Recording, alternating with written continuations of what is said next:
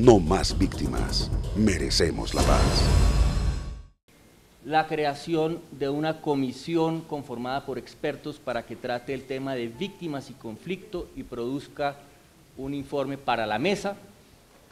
Y la creación también muy importante de una subcomisión de género sobre la, sobre la que ya veníamos trabajando con las FARC, que va a estar conformada por miembros de la delegación del gobierno y miembros de la delegación de las FARC que van a asegurar que todo lo que acordemos tenga un enfoque de género y que la visión de la mujer esté adecuadamente representada en La Habana.